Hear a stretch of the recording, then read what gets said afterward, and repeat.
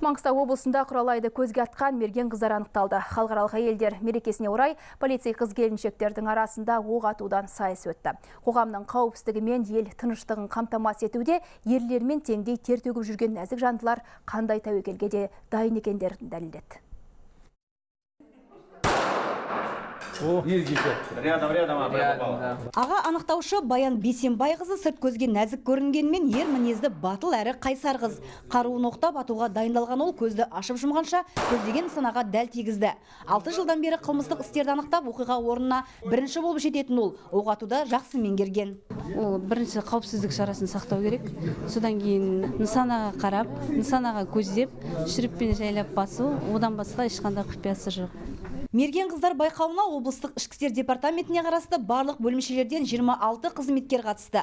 Олар алдымен тапаншамен нысана көздеуден сайысты. Ал тактикалық жаттығуда қатысушының жылдамдығы есепке алынды.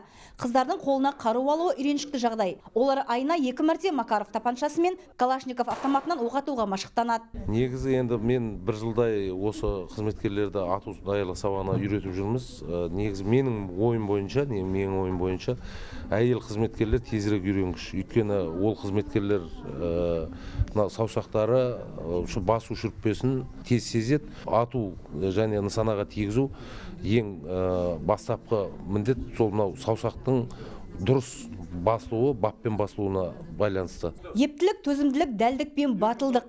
Полицей арулардың бойында мұндай қасиеттер болмаса қылмыскерлермен күресе алмас еді. Бүгінгі сайыста олар кез келген қиын жағдайда өздеріне жүктелген міндетті мүлтіксіз орындауға дайын екендіктерін тағы бір дәлелдеді. Сайыс нәтижесінде арнайы дайырлық басқармасының арулары бас жүлдеге ие болды. Гүлмира Әбішева, Ринат Досалиев, Ақтау, Хабар 24.